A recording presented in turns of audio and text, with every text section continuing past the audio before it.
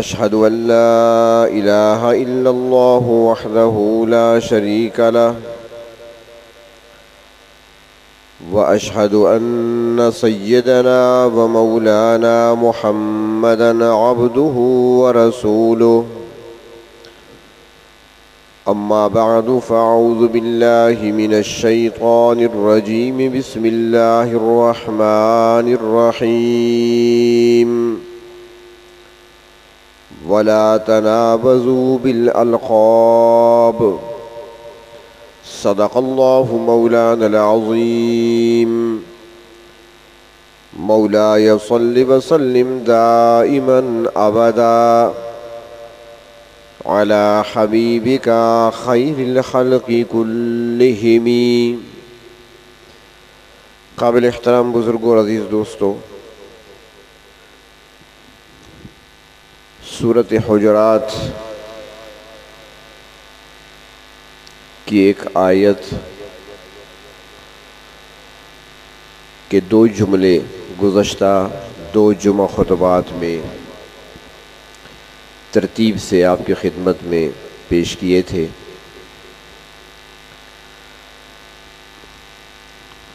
आयत के आगाज़ में अल्लाह तबारक व तारा ने फरमाया कि एक दूसरे का मज़ाक न उड़ाओ। दूसरी बात इरशाद फरमाई कि एक दूसरे को ताना न दो।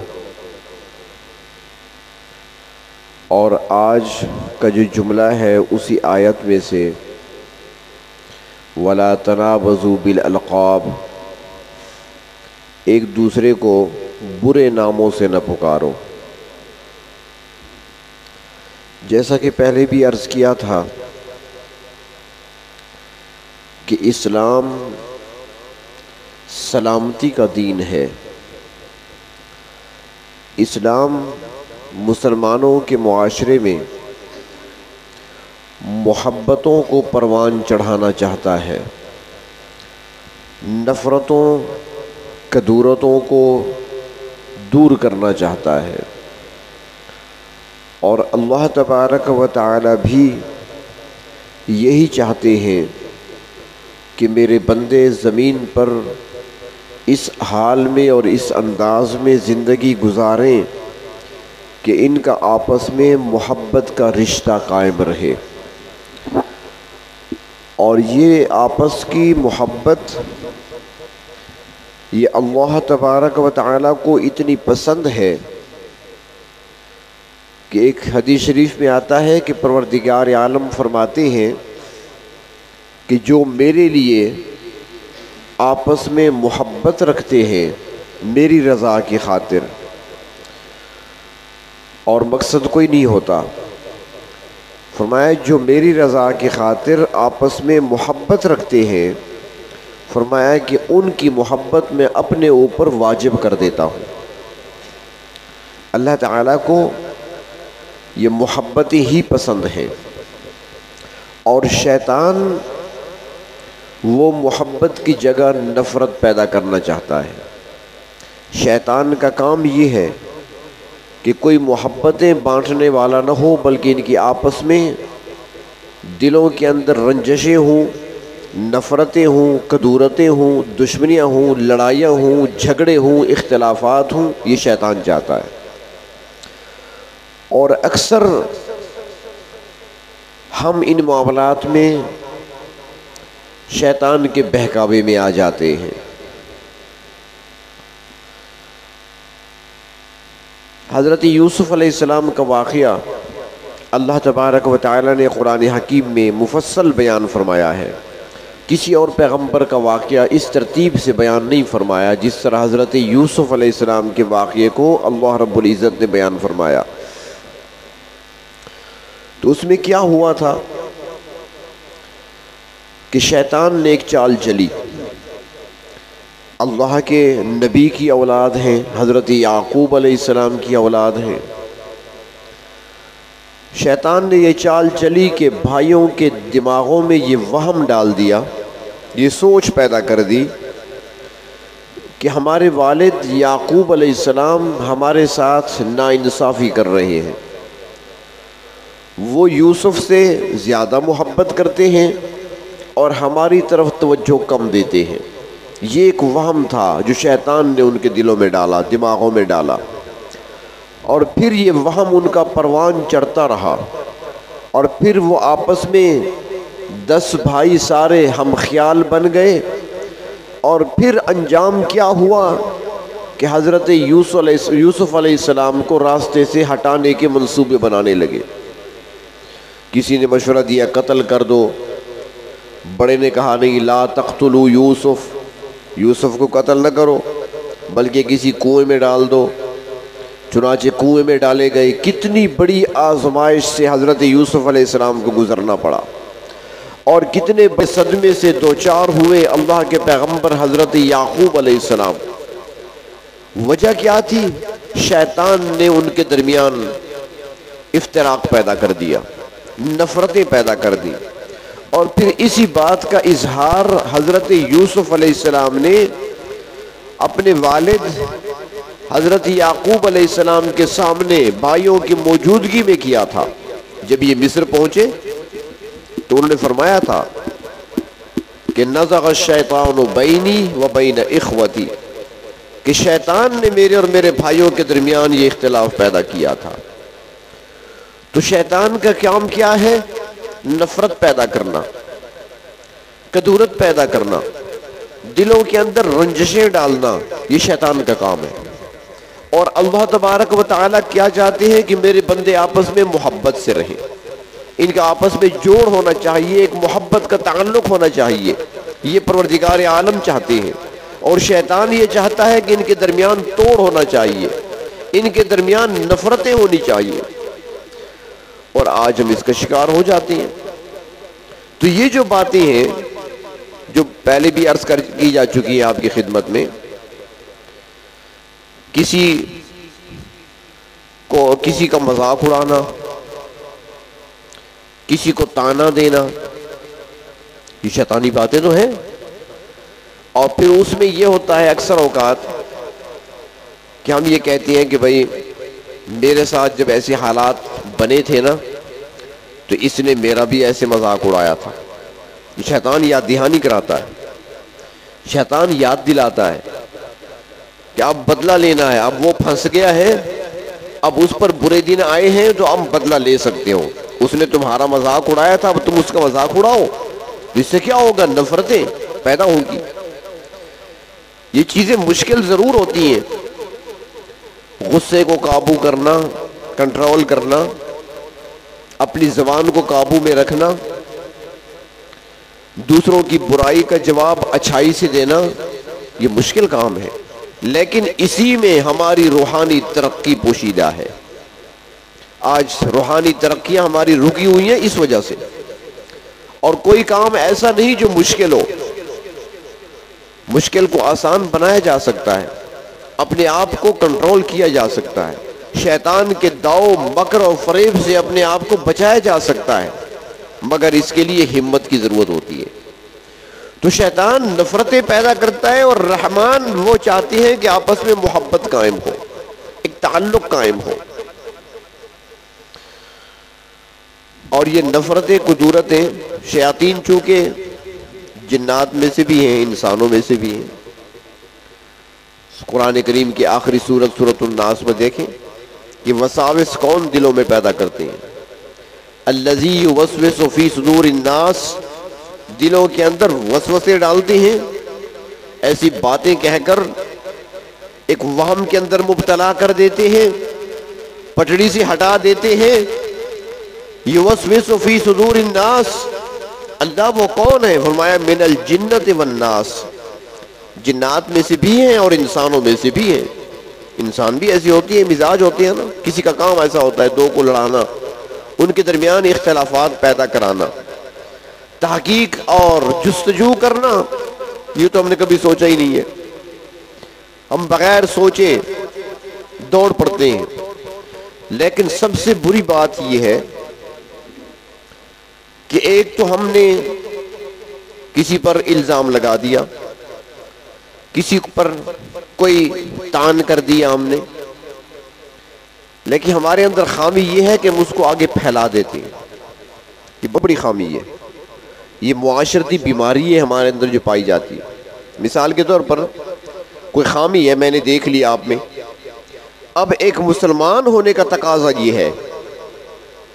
मुसलमान होने का तकाजा ये है कि अगर मुझे खामी नज़र आई है तो मैं आहिस्तगी से जाकर, तन्हाई में उसको बुलाकर, उसको समझाऊं कि यार तुम्हारे अंदर ये फ़लाँ चीज़ जो है, ये ठीक नहीं है। आप इसकी असलाह कर लें। ये हमदर्दी है, ये मुसलमानी है, ये भाईचारा है। और अगर इतना हमसे नहीं हो सकता तो फिर दूसरा रास्ता ये है कि देख लिया, बस खामोश हो जाए। लेकिन हम ये दोनों बातें नहीं पाई जाती। हमने न तो उसकी असलाह का सोचना है, न उसको बताना है। हमने क्या करना है?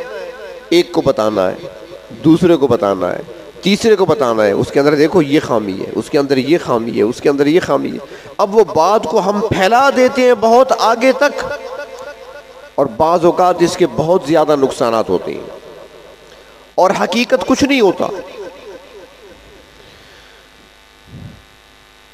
उसका बेहतर हल तो ये है कि जिसके बारे में आपको पता चला है अगर आपको बात गलत लगी है तो डायरेक्ट उससे आप पूछ लें। पूछा जा सकता है। मिसाल अर्ज़ करता हूँ। एक जगह खाने पे इकट्ठे थे चंद साथी। तो मेरी फिर आदत है जब जाता हूँ कहीं पर कि दावत होती है और अंदाज़ा होता है कि बस अब दस्तरखान लग चुका है या लगने वाला है। तो मैं वहाँ अंदर दाखिल होने से पहले ही मैं उनसे पूछ लेता हूँ, भाई, खाना तैयार है जी, तैयार है? तो मैं कहता हूँ, पहले हाथ में धो लूँ। तो मैं हाथ बाहर से धोकर ही अंदर जाता हूँ। तो वहाँ भी ऐसे हुआ, अपनी आदत के मुताबिक हाथ धो लिए, अंदर बैठ गया। साथी बैठे हुए थे। अब जो बैठे हुए हैं, उन्होंने देखा ना दस्तरखान पे खाना अब सजाया जा रहा है। वो हाथ धोने के लिए उठे। अब मैं तो नहीं उठा। मैं तो पाँच मिनट पहले धो के आया था। अब ज़रूरी तो नहीं है ना कि आप उसी वक्त ही लाजमन गीले करें। अगर आपने धो लिए, आपके हाथ साफ़ हैं, आपने किसी ऐसी चीज़ को हाथ नहीं लगाया तो आपके हाथ साफ़ हैं। मकसूद तो सफ़ाई है, पाकि है। अब वो उठे, उन्होंने हाथ धोए। अब मुझसे कुछ नहीं कहा। खाना खा लिया। उनमें से एक था बंदा। उसने एक को पिला। यार काइसिब के साथ मैंने फला जगह खाना खाया। उसने खाने के लिए हाथ ही नहीं धोए। फिर दूसरे से कहा, फिर दुकान पे और बंदा आ गया, उससे कहा, सारा दिन दुकान पर शायद कहिए कि तबलीगी मिशन था, वो चलाता रहा चलाता रहा। बहुत पहले रही मुझसे एक ने कहा, कुछ हमदर्द भी होते हैं साथी। एक ने मुझसे पूछा, ऐसा वाक्य हुआ? मैंने कहा, हुआ, ये हुआ था, मैं हाथ धोकर अंदर गया था। हाँ इतनी ज़रूर है, उनके हाथ गीले थे, मेरे खुश्क थे। क्योंकि मैं धो चुका था, पाँच सात मिनट पहले की बात थी। दूसरे ने पूछा, तीसरे ने तो मैं अंदाज़ा लगा लिया कि ये तशहर बहुत ज़्यादा हो चुकी है। अब बजाय इतनी बात बढ़ाने के, उसी वक्त मुझसे पूछ लेते कि आप हाथ क्यों नहीं धो रहे? बात ख़त्म हो जाती। तो इस मामले में बहुत एहतियात की ज़रूरत है। हमें पूछ लेना चाहिए। अब खाने पे बैठे हैं, दस्तरखान पे बैठे हैं, कोई आलिम है, कोई मुफ्ती है, कोई बड़े आदमी है, कोई अल्लाह वाले हैं, बुज़ुर्ग हैं, आपके साथ बैठे हैं। आप सारे हजरात बैठे हैं, दाया घुटना आपने खड़ा किया हुआ है, बाएँ को नीचे बिछाया हुआ है। वो बैठे हैं अतहियात की शक्ल में, खाना खा रहे हैं। अब आप उसे देख कर एक से कहें कि यार खिलाफ सुन्नत बैठा है। दूसरे से कहें, खिलाफ सुन्नत। भाई, सुन्नत में सुन्नत के मुताबिक बैठने का एक तरीका तो नहीं है। भाई, और तरीके भी तो हैं ना। पहले खुद तो सीखिए आप। अगर आप सुन्नत के मुताबिक बैठे हैं तो वो भी सुन्नत के मुताबिक ही बैठा है। बजाय लोगों को कहने के, उससे बात कर ली जाए। तो फरमाया कि जिन्नात में से भी ऐसे हैं शरीर जिनका काम आपस में नफरतें डालना है, इख्तलाफ पैदा करना है, रंजशें पैदा करना है, लड़ाई झगड़ा पैदा करना है, और इंसानों में से भी हैं। और बाज़ात बात बहुत बढ़ जाती है, एक मामूली बात समझते हैं लोग, मज़ाक समझते हैं। बाज़ात बहुत बढ़ जाती है बात। और ये काम जो करने वाले होते हैं ना जी, मुनाफिकीन ये काम किया करते थे। नबी अकरम सल्लल्लाहु अलैहि वसल्लम ने अपनी वफात से कुछ पहले एक लश्कर तरतीब दिया। रवाना फरमा रहे थे, उसे मैदान जिहाद की तरफ़ और उस लश्कर पर अमीर आप सल्लल्लाहु अलैहि वसल्लम ने मुकर कर दिया उसामा बिन जैद को। हज़रत उसामा बिन जैद अमीर मुकर कर दिया। उसामा बिन जैद की उम्र क्या थी उस वक्त? सतारह या अठारह साल। मुनाफिकीन ने बातें शुरू कर दी कि देखें भाई अल्लाह के रसूल के फैसले, माज अल्लाह कैसे फैसले कर रहे हैं? बड़े बड़े अकाबिर सहाबा हैं, वो सहाबा भी हैं जो बदर में शरीक रही हैं, उहद में रहे, हुनैन में थे, अहजाब में थे, हर जंग में शरीक रहे, तजर्बाकार शाह सवार भी हैं और तजर्बाकार जंगजू भी हैं, तलवार भी चला सकते हैं, तीरंदाज भी हैं, तजर्बा भी है उनको, जंगों में शामिल रहे हैं, उनको छोड़कर एक सत्रह साल के लड़के के हवाले कर दिया सारा लश्कर। ये बातें शुरू हो गई। मुनाफिकीन की तरफ़ से। ताकि इंतशार पैदा हो, मुसलमानों में तोड़ पैदा हो। जो अकाबरीन है, वो सोचें कि जो हमारा हक बनता था, हमें नहीं दिया, एक लड़के को दे दिया। लेकिन वो तो सहाबा थे। गर्दनें कट जाती थी, परवाह नहीं, अल्लाह के रसूल के हुक्म के खिलाफ तो नहीं कर सकते थे वो। खामोश थे, लेकिन मुनाफिकीन की आवाज़ चलती रही। यहाँ तक कि अल्लाह के रसूल वसल्लम तक आवाज़ पहुँची, आपने भी सुन ली। आपने फरमाया, लोगों अगर उसामा बिन जैद को अमीर लश्कर बनाया है तो वो इसका हकदार था। और इससे पहले एक मरतबा इसके वालिद हज़रत जैद को जब अमीर लश्कर बनाया गया था तो वो उसका हकदार था। उस वक्त भी तुमने एतराज़ किया था, अब भी तुम एतराज़ करते हो, लेकिन जो फैसला हुआ है, वो दुरुस्त हुआ है। क्योंकि अल्लाह के नबी बगैर वही की फैसला तो करते नहीं है। तो भी छोटी सी बात थी, कितनी तकलीफ़ पहुँची अल्लाह के रसूल सल्लल्लाहु अलैहि वसल्लम को। बल्कि इससे बढ़कर एक और मशहूर वाक़ है। उमुलमिन हज़रत आयशा सिद्दीक़ा रदी अल्लाह तहा की ज़ात पर मुनाफिकीन की तरफ़ से एक इल्ज़ाम लगाया गया था। मशहूर वाक़ है। और फिर वो बात थी सिर्फ़ एक ने दूसरे से, दूसरे ने तीसरे से। आगे मुनाफिकीन की तरफ़ से बात चलती रही, यहाँ तक कि पूरे मदीने में आग लगा दी। अल्लाह के महबूब भी इस हाल में मस्जिद तशरीफ़ लाते हैं कि आँखों से आँसू जारी है।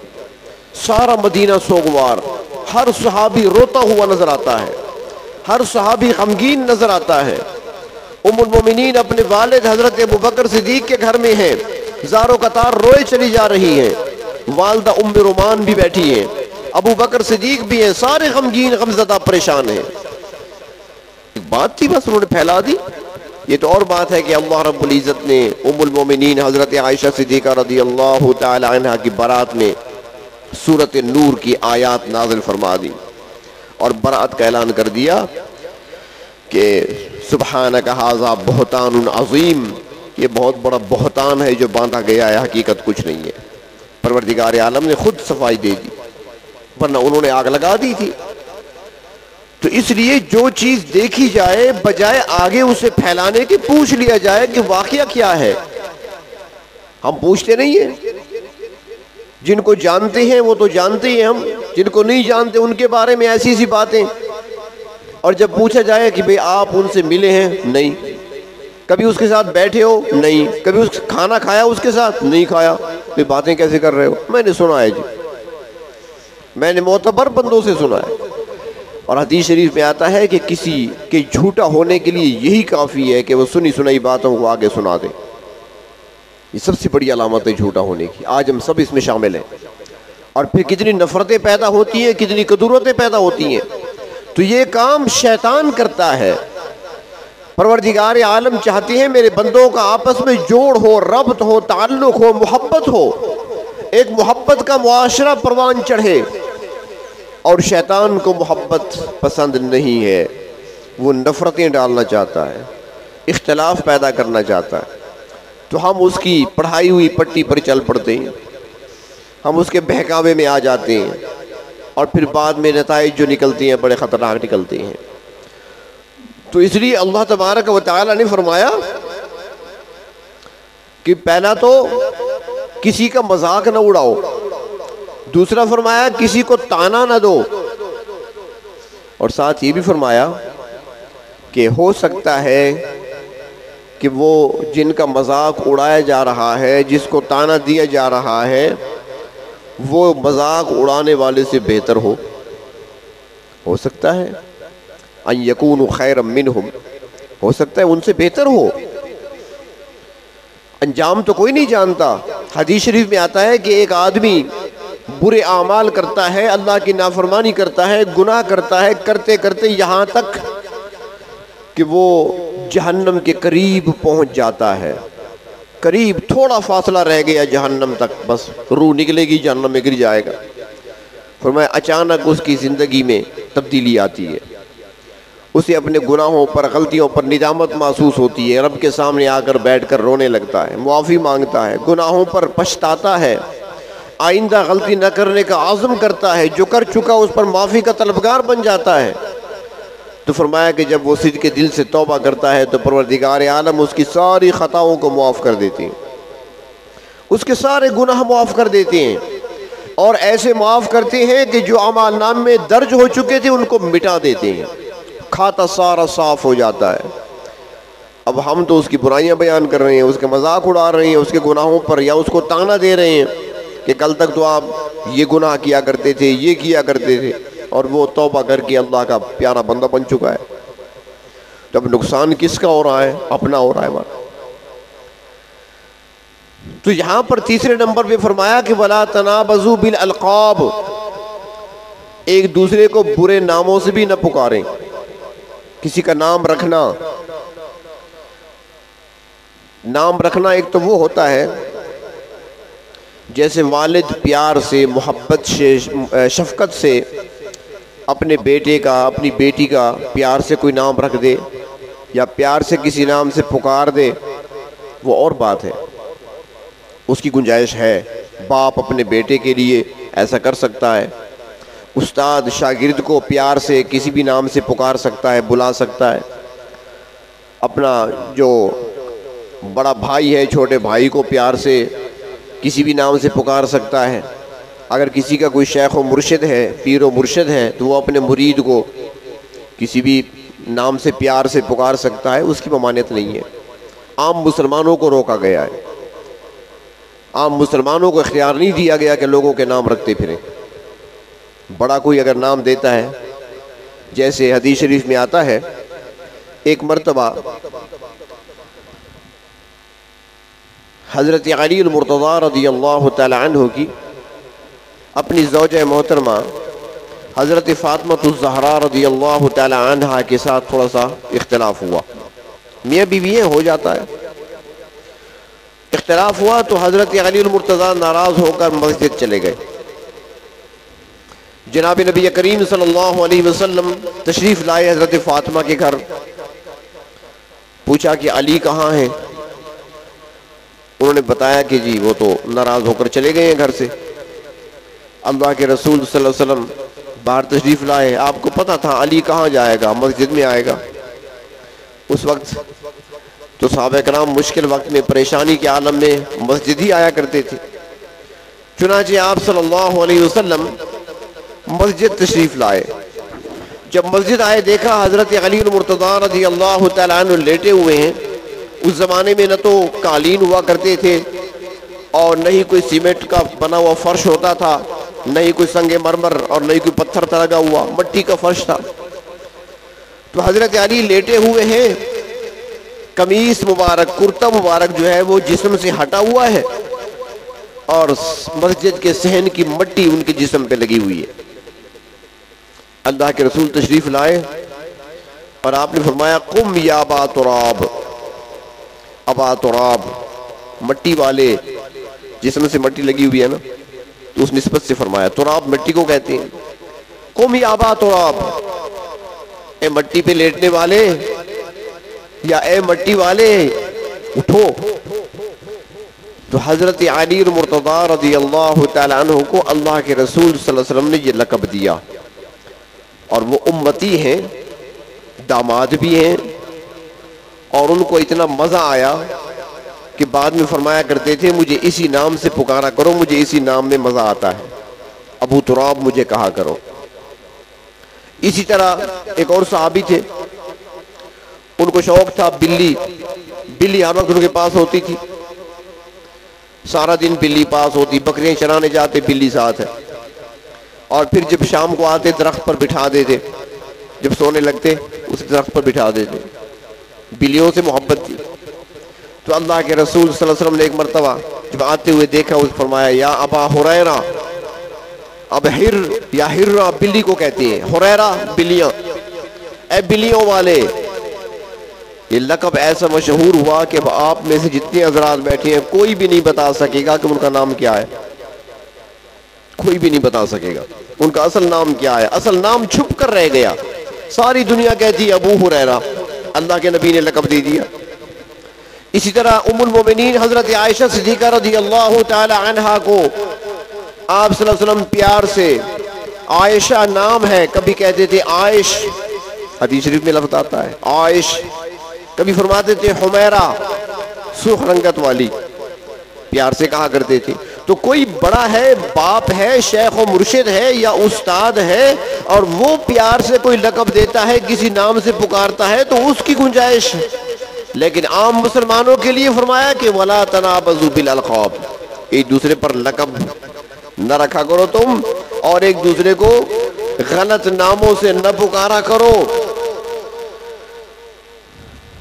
जैसे कोई शख्स है, उसमें कोई ऐब है मसल एक टांग से माजूर है तो उसे लंगड़ा कहकर बुलाना या पुकारना, या किसी के सर पे बाल नहीं है तो उसे गंजा कहकर पुकारना ममानियत है इसकी इस तरह उसके किसी जुर्म की तरफ़, उसके किसी गुनाह की तरफ़ निस्बत करते हुए किसी नाम से उसे पुकारना, मसलन कोई नशा करने वाला है तो नशई कहकर पुकारना, शराब पीने वाला है तो शराबी कहकर पुकारना, मना किया गया है। वला तनाबजुबिल ख्वाब, ऐसे नामों से एक दूसरे को ना पुकारो। जो नाम रखे गए और दूसरी बात यह है कि एक होता है नाम किसी का रखना और एक होता है नाम बिगाड़ना। हमारे अंदर दोनों बुराइयाँ पाई जाती हैं। किसी पे नाम भी रख देती हैं और नामों को बिगाड़ते भी हैं। वालदेन ने तो बड़ा अच्छा नाम रखा है, लेकिन उसकी बुराई की वजह से या उसके किसी जुर्म की वजह से या उसके किसी गुनाह की वजह से नाम को ही उलट देते हैं। मानी बदल जाते हैं। तो इस चीज़ से रोका गया है। और फरमाया कि आगे फिर फरमाया इसी आयत के आगे कर ये काम तुम करोगे, किसी के नाम रखते फिरोगे, बुरे अलकाब से किसी को याद करोगे, बुरे अलकाब से किसी को पुकारोगे तो फरमाया कि इस्लाम में फासिक का लफ्ज़ बहुत बुरा है। बेसलिस्मुल फसूक बादल ईमान ईमान के बाद ये फिस्क का लफ्ज़ बहुत बुरा है। क्या मतलब? यानी किसी का नाम आपने बिगाड़ा है तो ये गुनाह कबीरा है। इसको मामूली नहीं समझना चाहिए। किसी को आपने ताना दिया है तो ये गुनाह कबीरा है, इसको छोटा ना समझें। किसी का मज़ाक उड़ाया है तो फरमाया कि ये भी बड़ा जुर्म है, छोटा नहीं है, क्योंकि अल्लाह ने रोका है। जिससे अल्लाह रोक दे, वो काम हराम हो जाता है और हराम के करने वाला गुनाह कबीरा का मरतकब होता है। तो फरमाया कि याद रखो, ईमान के बाद फासिक का लकब लग जाना बहुत बुरा है। जिसका नाम तुमने रखा है, जिसका मज़ाक तुमने उड़ाया है, जिसको ताना तुमने दिया है, हो सकता है कि वो तुमसे बेहतर हो, लेकिन तुमने अपने लिए तो फासिक का नाम चुन लिया है ना।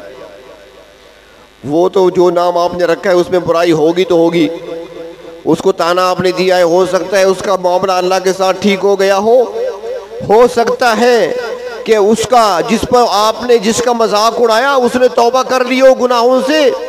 और तुमसे बेहतर बन गया हो, लेकिन तुमने ये काम करके अपने लिए जो नाम, जिस नाम का इंतखब किया है, ये नाम बहुत बुरा है और वो नाम क्या है? फासिक है। बेसल बेसलफसूक बादल ईमान। ईमान के बाद ये फासिक का लकब मिल जाना, ये बहुत बुरा है। और तुमने ये जुर्म करके अपने आप को फासिक बना दिया है। गुनाह कबीरा का मुरतकब जो होता है, उसे फासिक कहते हैं। नाफरमान गुनाहगार, अल्लाह के अहकाम को तोड़ने वाला। तो अपने आप को कौन सा लकब दे दिया तुमने? दूसरों को अलकाब देने के बजाय तुमने अपने लकब को बिगाड़ दिया। दूसरों पे नाम रख रहे थे, तुम्हारे अपने अपने लिए कौन सा नाम तुमने चुन लिया? और आगे भी फरमाया कि अगर तौबा तुमने न की, अगर तुमने तौबा न की तो फरमाया कि फिर तुम जालिम भी हो। अब जिसका हमने नाम बिगाड़ा है जिसको हमने ताना दिया है, जिसका हमने मज़ाक उड़ाया है, हमने तो कर लिया ये काम। लेकिन हमें क्या मिला? एक तरफ़ अल्लाह ने फरमाया कि जुल्म किया है, जालिम बन गए। दूसरी तरफ़ गुनाह कबीरा किया है तो फासिक बन गए। तो इसलिए अल्लाह तबारक व ताली के अहकाम को हम समझें और इसके मुताबिक अगर हम ज़िंदगी गुजारें तो हमारी ज़िंदगी माशरे के अंदर ऐसे गुजरेगी जो हर तरफ़ खुद भी अमन वाली होगी, दूसरों को अमन देने वाली होगी। इसलिए तो नबी अकरम वसल्लम ने दुआएँ सिखाई हैं, बड़ी प्यारी प्यारी दुआएँ। बाज़ बड़े छोटे छोटे जुमले। एक छोटा सा जुमला है, आप ज़रूर इसको पढ़ा करें। जब भी घर से निकलें, सुबह पढ़ लिया करें। जब भी घर से निकलें, दोपहर को, शाम को निकलें खसूस सुबह को पढ़ लिया करें। अल्लाहम्मसलिमनी अल्लाहम्मसलिमनी या अल्लाह, मुझे सलामती अता फरमा। अल्लाहम्मसलिमनी मुझे सलामती अता फरमा। अब जो सलामती मिल गई जान भी हिफाजत में माल भी हिफाजत में न कोई चोर आपको रास्ते में धोखा दे सकता है न कोई डाकू लूट सकता है न आप रोड पर किसी नुकसान को, को आ, कोई नुकसान आपको पहुँच सकता है न कोई नुकसान आपको पहुँचा सकता है सलामती मिल गई सब कुछ मिल गया। अल्लाह वसलमनी और अगला जुमला वसलम अल्लाह दूसरों को मेरे ज़रिए से सलामती पहुँचा दे। यानी मुझे भी सलामती मिले और मैं दूसरों के लिए सलामती का ज़रिया बन जाऊँ, दूसरों के लिए अमन का ज़रिया बनूं, दूसरों के लिए राहत का ज़रिया बनूं, न किसी और से तकलीफ़ मुझे पहुँचे, न मुझसे तकलीफ़ किसी और को पहुँचे। अल्लाह मसलिमनी वसलिम मिन्नी। आसान सा जुमला है, सादा सा जुमला है। ये दुआएँ अल्लाह के महबूब वसल्लम ने सिखाई हैं हमें। तो अगर ये पढ़ लिया जाए तो फिर भी बहुत सारी खराबियों से इंसान बच जाता है। तो इसलिए हमें चाहिए कि अपनी ज़बान का इस्तेमाल हम ठीक किया करें। इसको काबू में रखें। इसलिए तो आता है हदीस शरीफ में, नबी अकरम ने इरशाद फरमाया था। आपने फरमाया कि दो चीज़ों की ज़मानत दे दो। दो चीज़ों की ज़मानत तुम दे दो। एक वो जो दो जबड़ों के दरमियान है, ज़ुबान। दूसरा वो जो दो रानों के दरमियान है, शर्मगाह। फरमाया, दो चीज़ों की हिफाजत की ज़मानत तुम दे दो। जन्नत का जिम्मा मैं लेता हूँ। तो इतनी अहमियत है। जबान से जो कुछ निकालते हैं, वो तो निकल गया। एक तो यहाँ पर लिख लिया गया किरामन कातबीन यालमून मातफ़ालून लिख रहे हैं, बैठे हैं। और दूसरी तरफ़ आगे जो नुकसान होंगे, वो हमारे लिए जिस तरह सदका जारिया होता है ना, बंदा कब्र में पहुँच जाता है और पीछे सवाब चलता रहता है। इसी तरह जो बुराइयाँ कोई छोड़ जाता है, गुनाह कोई छोड़ जाता है, जो पीछे चलते रहते हैं ये कब्र में पहुँच चुका होगा, गुनाह पीछे लिखा जा रहा होगा, चल रहा होगा। तो इसलिए, अगर किसी के अंदर कोई ऐब नज़र आए, किसी के अंदर कोई खामी नज़र आ गई, किसी के अंदर कोई गलती नज़र आ गई, उसका सबसे बेहतर हल ये है कि उससे पूछ लिया जाए। वो चाहे आपका उस्ताद है, चाहे आपका शागिर्द है, चाहे आपका शेख व मुर्शिद है, चाहे आपका वालिद मोहतरम है चाहे वो आपका भाई है, चाहे आपका पड़ोसी है, कोई बात आपने देख ली ऐसी तो उसे पूछ ले कि मैंने ऐसे देखा है, इसकी हकीकत क्या है? उसका, उसको समझा देंगे मैंने कई मरतबा मिसाल अर्ज़ की है कि मेरे तालब इलमी दौर था, और वो दौर चूँकि तरबियत का दौर होता है, बहुत सारी चीज़ें अल्लाह तबारक वाली ऐसी सामने पेश फरमा देते हैं कि इंसान की असलाह हो जाती है आइंदा के लिए। तो मैं यहीं पढ़ता था जामिया नोमानिया में, आखिरी साल था हमारा। तो एक बहुत बड़े बुज़ुर्ग थे, मैं नाम नहीं लेता इस वक्त। अब फोत हो गए हैं वो। वो तशरीफ़ लाए थे डेरा। रात को जलसा था, वहाँ पर तशरीफ़ लाए, लेकिन रात को मुलाकात हम न कर सके, क्योंकि रश भी ज़्यादा था और काफ़ी देर हो गई थी। हम तालब इलम थे। दूसरे दिन सुबह पता चला कि हज़रत फुला जगह बैठे हैं किसी दुकान पर। जब पता चला तो मिलने के लिए मैं रवाना हुआ। साइकिल थी मेरे पास। मैं वहाँ गया, देखा तो वाकई हज़रत सामने बैठे हुए हैं। ये दाया हाथ है, ये मेज पे रखा हुआ है कोनी मेज पे रखी हुई है। और बाएँ हाथ में सेवन अप की बोतल, मुझे अभी तक याद है। सेवन अप की बोतल बाएँ हाथ में है, पाइप लगा हुआ है, पी रहे हैं, बाएँ हाथ से। तो जो मेरी नज़र पड़ी, मैं थोड़ी देर ठहर गया, देखता रहा। उसके बाद मैं दोबारा साइकिल मैंने मोड़ी और वापस। बस नहीं मिलता। क्योंकि हज़रत बाएँ हाथ से बोतल पी रहे हैं। मुझे अच्छा नहीं लगा। तालब इलम था। जज्बाती दौर होता है, जवानी होती है। अब मैं वापस मुड़ा तो एक और मेरे साथी थे, वो भी आ रहे थे। मेरी साइकिल पकड़ ली। कहाँ जा रहे हो? मैंने कहा, बस जा रहा हूँ मदरसे। किस लिए आए थे? मैंने कहा, हज़रत से मिलने। तो मिल लिए? मैंने कहा, नहीं। उसने कहा, मैं भी इसलिए आया हूँ। चलो मिलते हैं। मैंने कहा, नहीं, बस आप मिलने, मैं नहीं मिलता। मैंने कहा, क्यों नहीं मिलते? आए मिलने के लिए, मिलते नहीं हो? मैंने कहा, नहीं, बस आप मिल लें उसने कहा, नहीं नहीं, इकट्ठे जाएँगे, मुझे शर्म आती है। मैंने कहा, मजबूर कर लिया मुझे। तो साइकिल खड़ी की, दोनों वहाँ पहुँच गए। जब पहुँचे तो उसने मुझे आगे कर दिया। मैंने सलाम किया। तो हज़रत ने ऐसे बोतल रख दी और यही हाथ मिलाया और उसी वक्त पता चला कि हज़रत को फालिज हुआ था, दाया हाथ काम नहीं करता।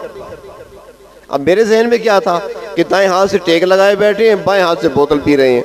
और हकीकत क्या थी कि ये बाजू काम ही नहीं करता था, शल हो चुका था, वो रखे हुए थे, और सिर्फ़ बाया हाथ था, यही इस्तेमाल करते थे। तो हज़रत ने बाया हाथ ऐसे मिलाया, तब राज खुला।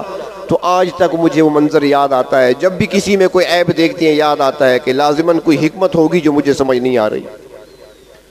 तो जब भी किसी के अंदर ऐसी बात नज़र आए तो उसका बेहतर हल ये है कि पूछ लिया जाए वो ताल्लुक वाला होगा या आपका दोस्त होगा, भाई होगा, वालिद होगा, उस्ताद होगा, पीर होगा मोहल्लेदार होगा, कोई भी है, उससे पूछ लें कि मैंने ऐसे देखा है आपको।